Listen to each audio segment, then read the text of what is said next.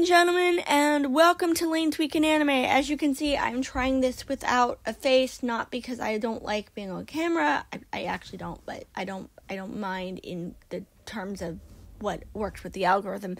But because I want you guys to be able to see the chart when when I'm talking and as of right now I don't have a green screen.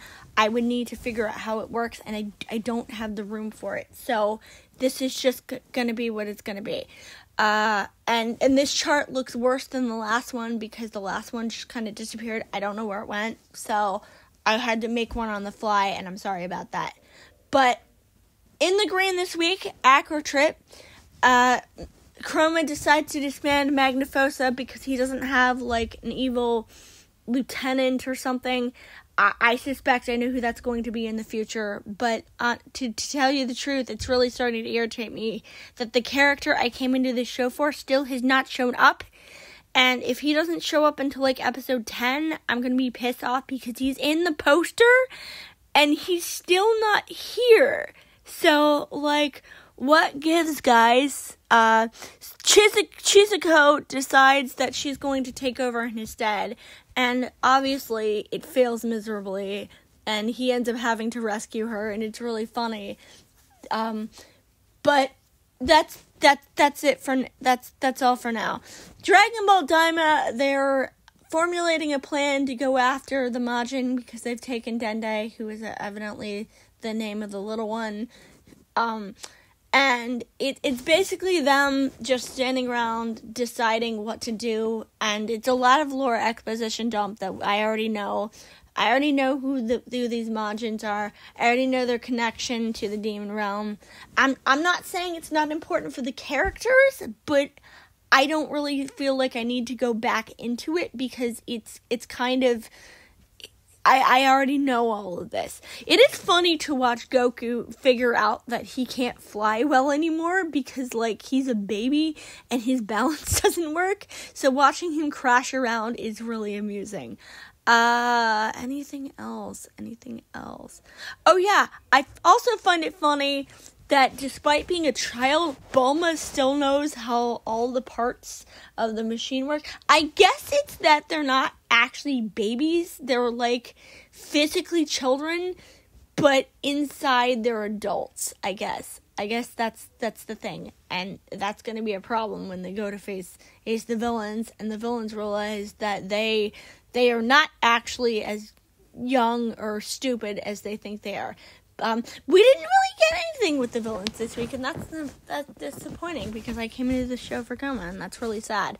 Uh, but meanwhile, Ao no Exorcist, they are sent to find Shura, who has gone to confront some people who she has a history with, um, and most of it is just the twins interacting, which I thought was really nice because the twins they interact a little bit in episodes, but they've never gotten like an actual dedicated episode to them interacting with each other. I don't think.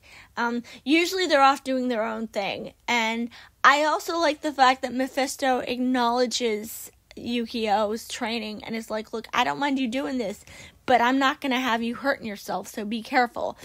I'm surprised he allows it because you think he would want to wouldn't want to allow it because Yukio is a teacher, but I, I guess he doesn't actually care. Um, there's more about Rin and Shiemi and the, their their loved thing, and I don't really care about that.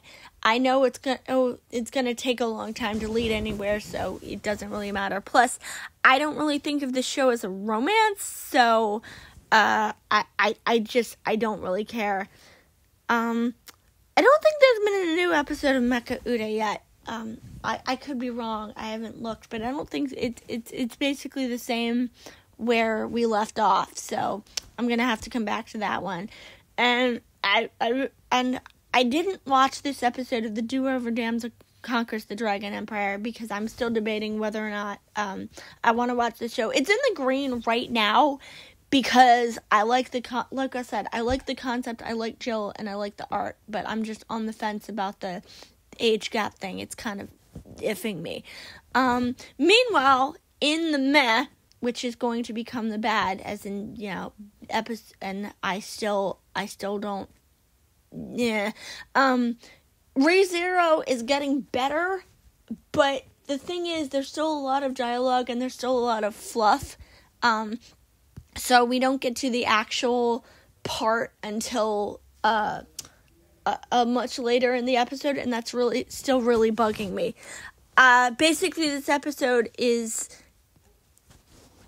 Uh, uh, uh, sorry, I, I blanked there for a minute. Subaru tr- trying to find a way to beat Sirius, and I like the fact that you know, you know, he tries a million different things, none of them work. Every time res- um, results in just horrible things happening. At one point, he tries to have uh, Reinhard kill her. That doesn't work. At one point, even Emilia. Actually, no, that was last episode, but still, this is the setup.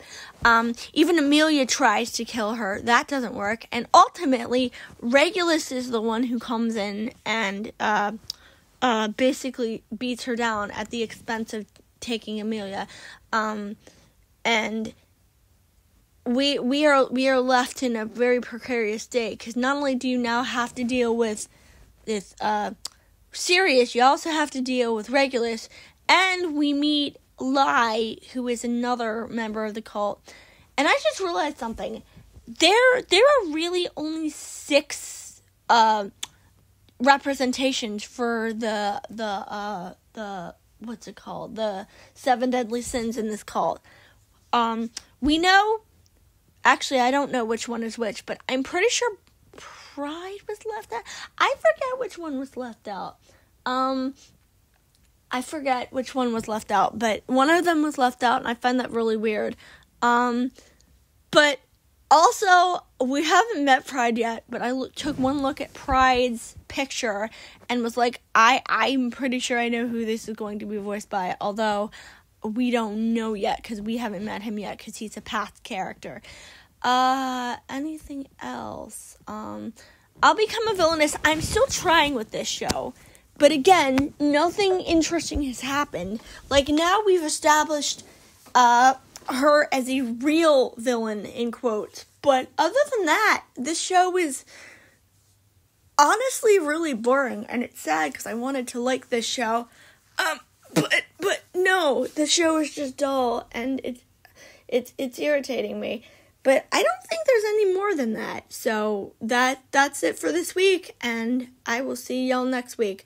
Um I might have to do it again on Friday because or no, next week I'm just going to wait till Monday. I, I decided not to wait till Monday this week, but next week I'm just gonna wait because these are supposed to be coming out on Monday. And I thought stuff just got away from me, so I had to do it today. Hey guys, it's Lynn again, and an addendum, I actually did forget a couple shows. I forgot Haigakura, which still makes absolutely no sense, and I'm trying to figure out, but I, I can't wrap my head around. I like the art, but I, I just, I, I don't understand this show. Um, and I forgot Arifureta, which I've been neglecting to watch because I keep, uh, putting it off, but honestly, it's interesting.